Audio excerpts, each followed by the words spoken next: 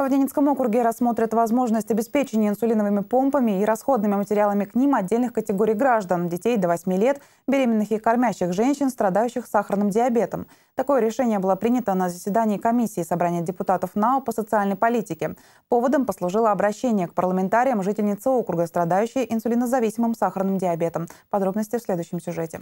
В 2012 году в Ненецком округе началась реализация программы «Сахарный диабет». Она предусматривала установку инсулиновых больным сахарным диабетом и выдачу бесплатных расходных материалов к аппарату сроком на один год. Предполагалось, что далее пациент будет закупать лекарства самостоятельно. Однако стоимость содержания инсулиновой помпы оказалась слишком высока. С такой проблемой столкнулась жительница Ненецкого округа. Об этом она написала в своем письме депутатам окружного собрания.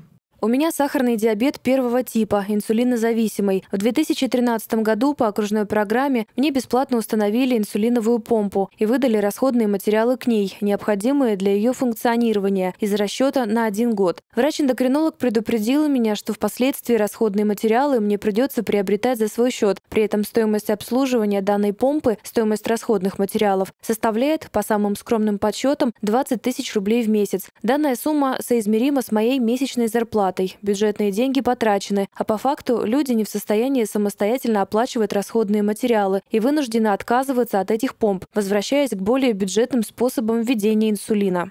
По информации Ненецкой окружной больницы, инсулиновые помпы установлены восьми пациентам, в том числе пяти детям. Инсулиновая помпа представляет собой небольшой аппарат, который работает на батарейках и вводит определенную дозу инсулина в организм человека автоматически. Необходимую дозу и периодичность устанавливает в памяти прибора. Несомненно, что такой высокотехнологичный аппарат удобен для больных сахарным диабетом. По информации Сергея Свиридова, сегодня в регионе проживает 18 детей, больных сахарным диабетом. Взрослых намного больше, а обслуживание одной помпы в год обходится более более чем в 300 тысяч рублей. Это дорого как для самого пациента, так и для бюджета Ненецкого округа. Альтернатива помпе – ежедневные инъекции инсулина инсулиновым шприцом. Государство по программе госгарантий э, больных этих категорий обеспечивает бесплатно.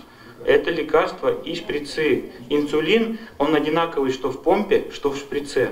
По информации Сергея Свиридова, за 2016 год в рамках региональной и федеральной льгот больным сахарным диабетом было выписано лекарственных препаратов и изделий медицинского назначения на общую сумму порядка 15 миллионов рублей. За неполный 2017 год на сумму чуть более 12 миллионов. Помпа как раз э, нужна для тех категорий э, населения, которые могут забыть вовремя поставить э, соответствующую дозу лекарства. То есть э, в основном это дети, но вот мы еще к такой категории риска относим беременных и кормящих женщин. А, но там немножко другая причина, то есть там могут быть э, с медицинской точки зрения э, определенные изменения. До 1 ноября профильный департамент просчитает возможность обеспечения инсулиновыми помпами и расходными материалами к ним детей до 8 лет, беременных и кормящих женщин, страдающих сахарным диабетом. Ирина Цепетова, Владислав Носкин, телеканал «Север».